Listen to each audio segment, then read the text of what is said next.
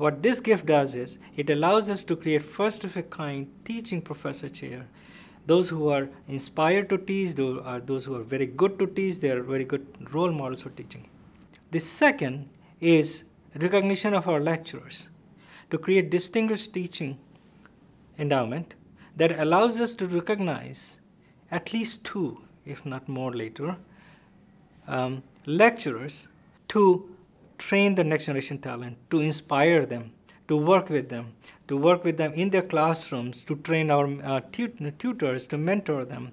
The lectures are valuable because they provide a different perspective um, on the material that they teach. Um, in many cases, the lecturers work in industry or have worked in industry, and they're able to teach the, um, the theory and the practice of software engineering and directly relate it to real world projects. And this is really important for, for underrepresented groups, um, specifically in, in STEM or computer science, because a lot of us come from um, communities that may not have been exposed to professionals in engineering or science or math. And because we haven't been exposed to folks like this, we don't necessarily picture what this concept might mean in industry. But lecturers were really good at bringing in these real world uh, examples. We developed a talent pool, uh, tutors.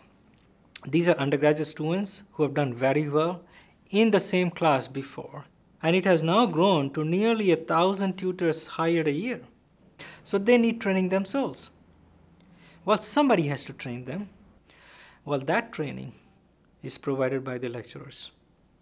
The, the lectures are critical to the tutoring program because the vast majority of the tutors are undergraduates and therefore are enrolled to tutor other students in the lower division and entry level classes. What I like about tutoring is it really gives me a chance to engage more deeply with the course. I was helping out people as much as I could because I was really trying to understand the material as deeply as I could. What the department has been able to do with this tutoring program is essentially build a very, very large support group so that students can rely on each other to help improve the probability that they would be successful in the department. This is where this gift comes in. It allows us to recognize the best of our teachers, the best of our lecturers, the best of our lecturers, uh, teaching professors, for which we are very grateful.